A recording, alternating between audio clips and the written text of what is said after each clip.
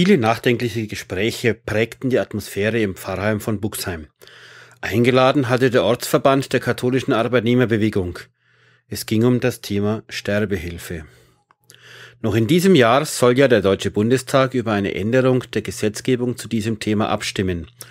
Die etwa 60 Teilnehmerinnen und Teilnehmer dieser KAB-Veranstaltung konnten sich bei ausgewiesenen Experten über dieses schwierige Thema informieren.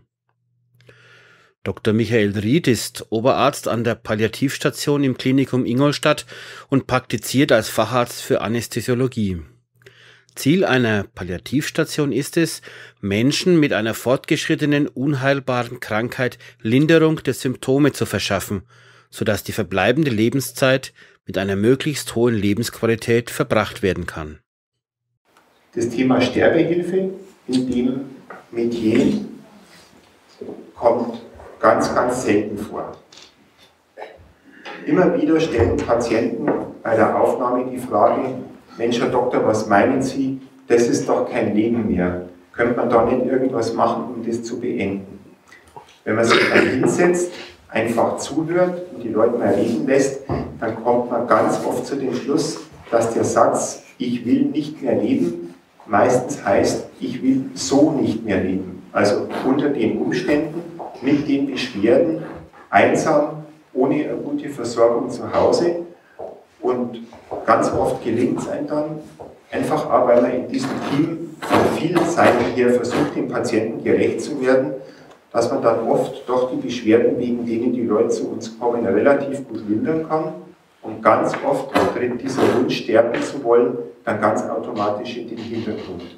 Professor Dr. Stefan Müller ist seit 1999 Inhaber des Lehrstuhls für Moraltheologie an der Katholischen Universität Eichstätt-Ingolstadt. Seine Forschungsschwerpunkte liegen unter anderem in aktuellen Fragen der Bioethik und der Suizidforschung.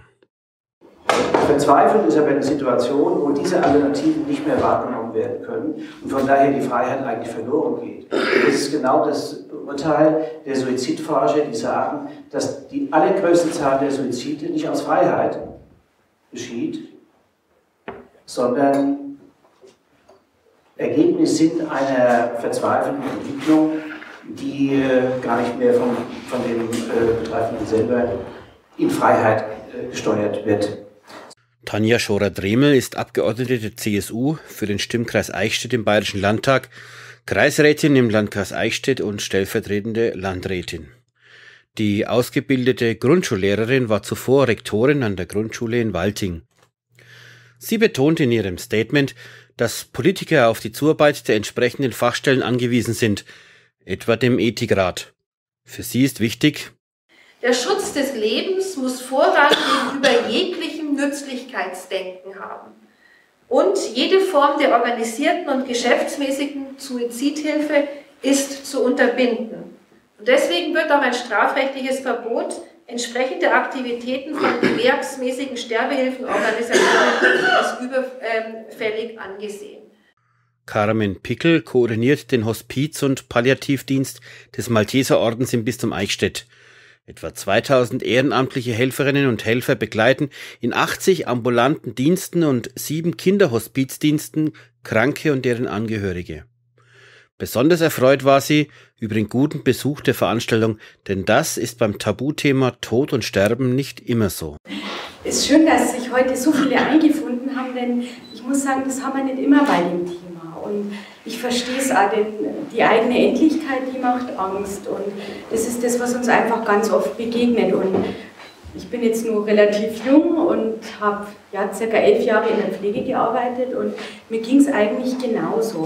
Als junge Schwester in der Nachtschicht allein und ein sterbender Mensch. Das Fazit der Beteiligten fiel nach der Veranstaltung ziemlich eindeutig aus.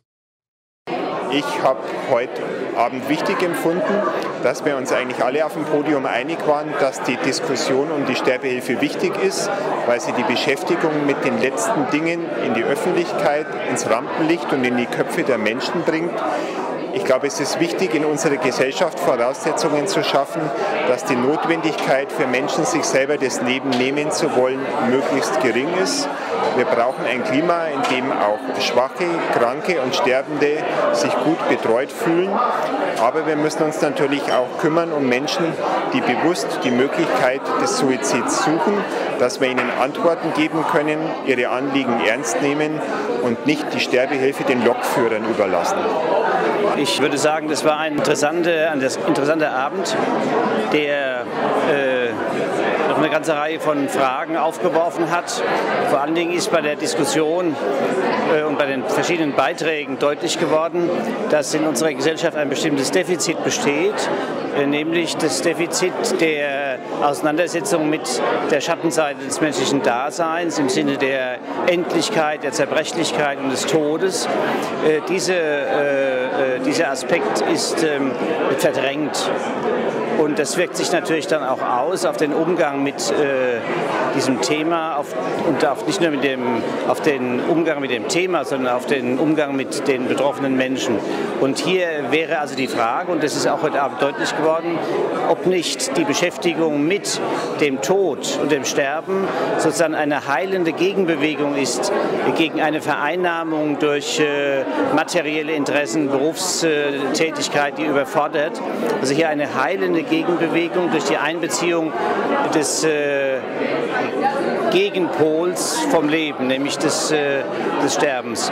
Und auch weiteres Fazit, dass diese Beschäftigung mit dem Sterben umso eher möglich ist oder leichter möglich ist, wenn, wenn also eine ähm, Verankerung im Glauben gegeben ist. Glauben ist immer auch Leben lernen, aber auch sterben lernen.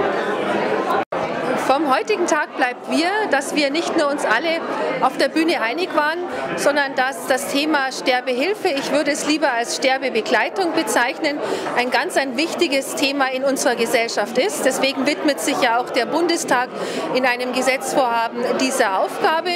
Und ich meine, dass die christlichen Werte, unsere, unsere soziale Kompetenz, die wir haben im Miteinander, wichtige Faktoren sind.